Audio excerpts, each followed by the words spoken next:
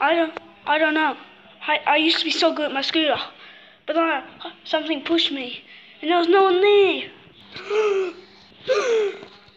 what are you thinking?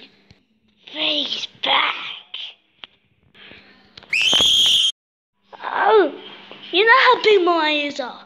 Don't scream that loud.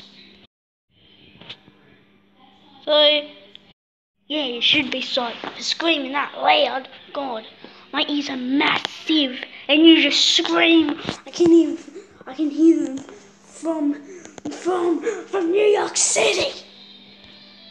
Said he's sorry. Just get over it. Yeah, I know he says sorry. God.